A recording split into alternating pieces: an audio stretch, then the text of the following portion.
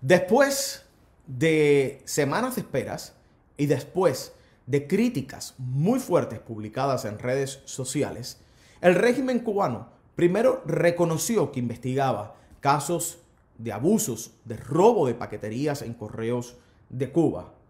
En las últimas horas ha informado que hay nueve personas en la provincia de Santiago de Cuba, uno de ellos, un alto funcionario, involucrados, según ellos, en estos robos de paquetes. Vamos a refrescar la memoria para que ustedes vean a qué robo de paquetes me refiero. Ustedes se recuerdan que les mostré estas imágenes el pasado 23, dice aquí, sí, 23 de abril. ¿Recuerdan esta cubana que fue a buscar un paquete que su señora madre le había enviado desde España y que había pagado más de 100 euros y cuando lo abrió lo que recibió fue piedras? ¿Recuerdan eso? ¿Recuerdan lo que había pasado con esta señora y toda su indignación que la volcó en las redes sociales y que enseguida salieron muchísimos a defender hoy, imposible que eso pase en la Cuba socialista, imposible que eso pase en la Cuba que construye el socialismo. ¿Se acuerdan de eso? Como incluso las ciberclarias me atacaron, que eso era mentira, que eso era un montaje, que, que, eso no podía pasar en una empresa socialista, que la gente criticaba y somos nosotros desde el exilio de Miami, la mafia, la gusanera, los que nos encargamos de ponerle malo la imagen a Correos de Cuba. ¿Se acuerdan? ¿Verdad? Santiago de Cuba, 23 de abril. Pues bueno, para todos esos que criticaron y que dijeron que era mentira y que esta mujer estaba inflando, que esta mujer lo que estaba era en busca de likes, Miren esta información publicado en el sitio oficialista Cuba Debates. Correos de Cuba informa medidas a responsables de hechos denunciados en Santiago de Cuba. Dice aquí, parte del comunicado, reconocer pública y con razón las reclamaciones recibidas por un total de 21 envíos pertenecientes a 19 clientes, no 10, como habían dicho, ni más de 10, sino 19 clientes por la expoliación o cambio de contenido parcial o total de los mismos. De ellos, 10 envíos de paquetería courier, 7 bultos postales internacionales, 2 bultos postales nacionales y 2 envíos de mensajería express. 9 involucrados. La primera persona, al jefe del centro de clasificación postal por incurrir en graves violaciones de la disciplina laboral, evidenciando negligencia en el cumplimiento de sus deberes funcionales y descontrol del personal subordinado, considerando que con anterioridad había mantenido una buena conducta ante el trabajo y no había recibido medidas disciplinarias, se le aplicó la demolición definitiva a un cargo de inferior categoría y condiciones laborales distintas, sin derecho a recibir estímulos adicionales a su salario oficial durante un término de seis meses, aunque dicho cargo los tenga establecido. Primer sancionado, el jefe del centro de clasificación, que no enfrenta cargos criminales porque según esta información de Correos de Cuba, eh, había tenido una buena conducta anterior. Vamos con los otros ocho implicados.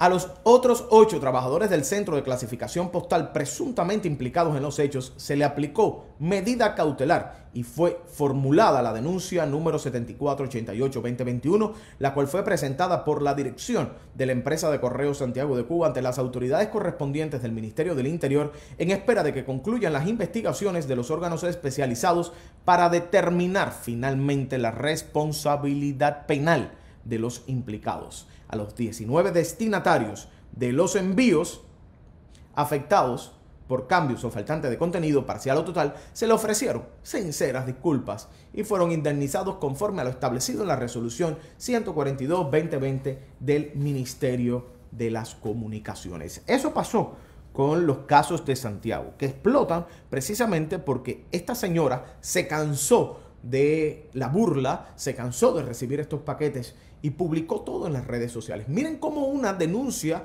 en una red social lleva a un escándalo de esta magnitud en la empresa Correos de Cuba. Fíjense cómo esta denuncia que hizo esta mujer en redes sociales adquiere todo el peso y además la repercusión que tuvo al mostrar las piedras que recibía para descubrir que había 19 clientes que fueron engañados.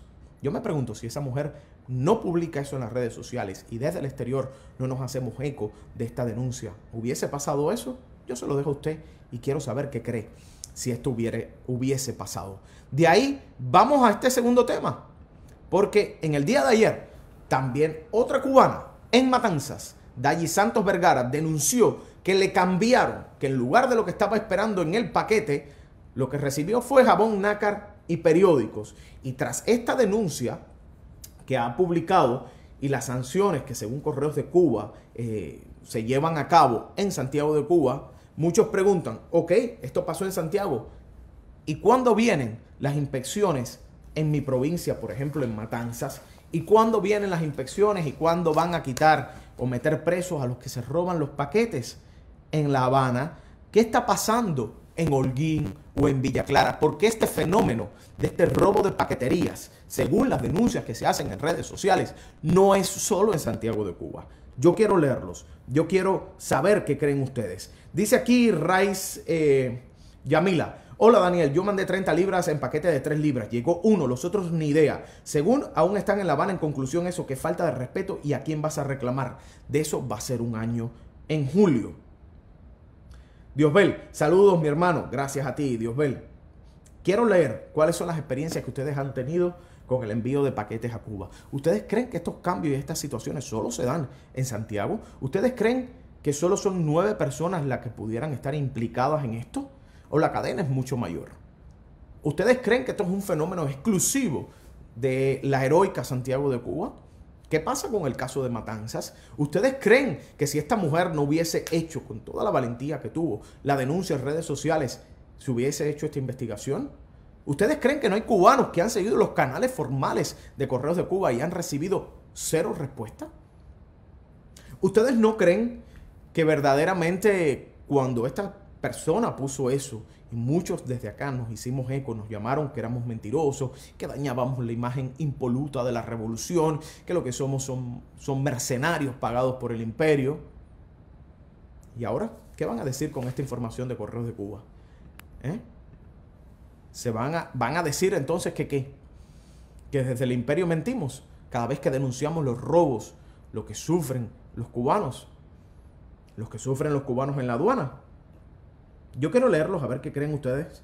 Dice, lo mejor que dice aquí Niurka de la Caridad, lo mejor que ha estado pasando es que ya el cubano tiene internet. A esas personas que han robado los paquetes deberían de meterlos presos porque no saben el sacrificio que hace la familia para enviar Qué horror que todos se queden al final. Ya Andrés Pérez dice, eso no lo repone nadie, Daniel. No es un solo. Yo mandé para Cuba un taladro y una pulidora y le quitaron en la aduana. Entonces yo me pregunto, ¿dónde está el bloqueo? El bloqueo está muy claro dónde está. El bloqueo es de ellos, el bloqueo es interno, el bloqueo es de un sistema que ha impedido el crecimiento de un país por más de 60 años. Gracias a todos los que llegan, gracias a todos los que se conectan, gracias a todos los que comparten y por supuesto a cada uno de ustedes que me dejan sus mensajes es un placer siempre leerlos.